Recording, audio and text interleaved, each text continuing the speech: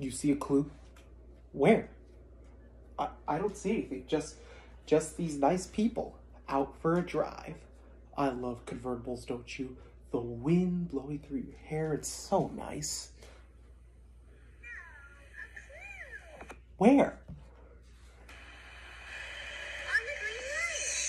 Oh, I see it. Our first clue is this green light. Hey, we better write this green light clue in our handy dandy notebook, right? So, a green light. Ooh, this looks like a job for my green crayon.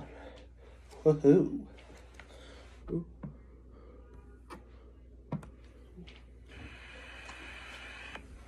So a circle,